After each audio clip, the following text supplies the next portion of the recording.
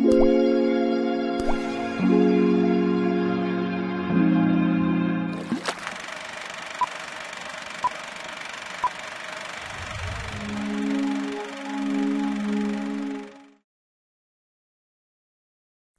may skip class or simply find ways to stay out of it for long periods of time.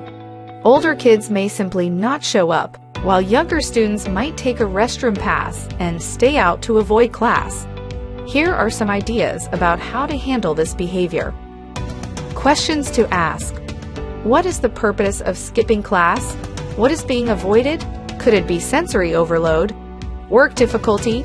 Are they avoiding class or skipping to get something else, such as time with peers or adult attention? What parts of the class are they skipping? Are certain parts more difficult than others? What is it about those parts of the class? What are they doing while they are skipping? Can this tell us something about the student's motivation? Here are some proactive strategies to try. Assign the student one or more break cards or break times so they can take a break when they need it. But structure the breaks activities, time and return criteria. This will give them an out, but put some structure around it. Build relationships with students to make sure they feel like you like them and want them in class. This can help reduce tension around learning. Build tolerance for being in class Start with activities that are not as threatening or overwhelming when you can, in order to reduce pressure on the student. Here are some reactive strategies you may use. Find the student if you can.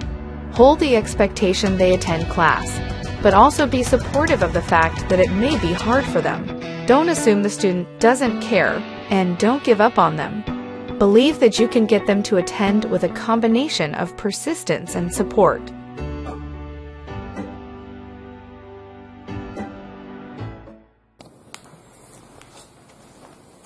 Hey Theo, what's going on? I noticed you're not in my class right now. You want to tell me why you're out here? I can wait.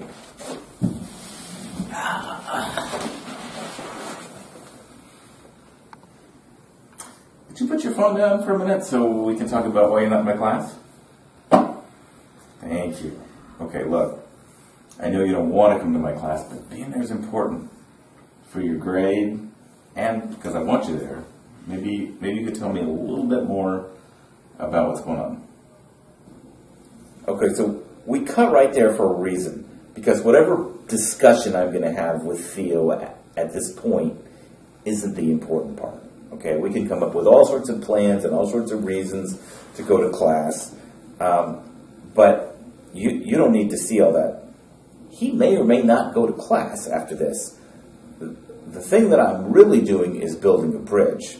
And I could do a punishment or a lecture or something. That might fit, fix the one time skipper, but the chronic skipper is a whole other thing.